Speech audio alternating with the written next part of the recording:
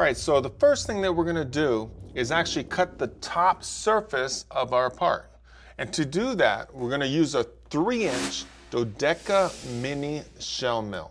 So the insert that we're using is not the insert that I used 10 years ago. This is a new insert. This is the KCSM40.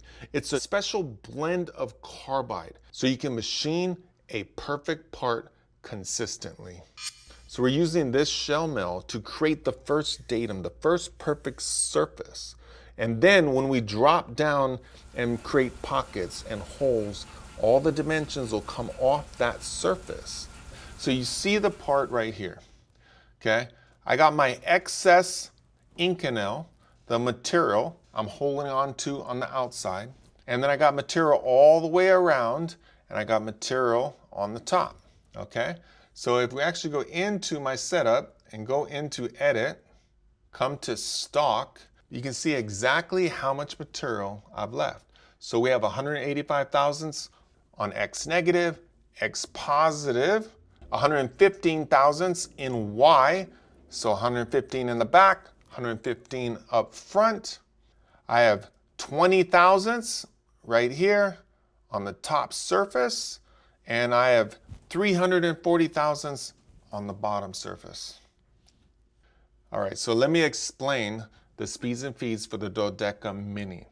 We have a surface foot of 200, which is giving us an RPM of 254. And we have five inserts on this shell mill. So when you look at our actual feed per tooth, 0056 is way on the bottom because the range on this specific tool and insert is 0.0056 to 0.0228. So as you can see, we got sky on the other side. But since this is a tutorial, I wanted to slow things down. All right, so on this pass, we're just taking a little bit of material on the top, but it is Inconel, and we wanna have a beautiful surface finish. So another thing that I've done is we've taken one insert out, brought in a wiper.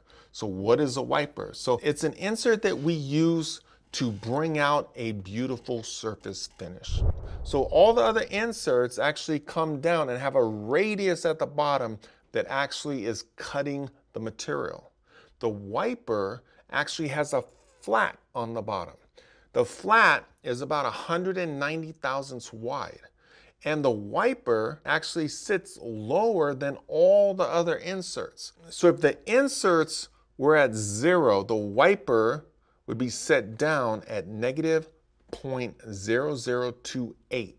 All right, so that's the difference between the two.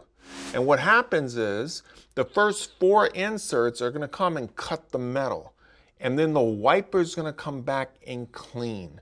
All right, so we're starting out with 200 surface foot, but on the machine, I might raise it a little bit to get a little bit more RPMs. And then I will adjust my chip load to slow or speed it up to get that perfect finish. The shell mill comes across and just skims perfectly across that surface.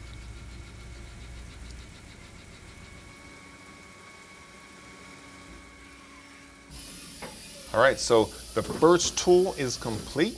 Now let's go to the next tool.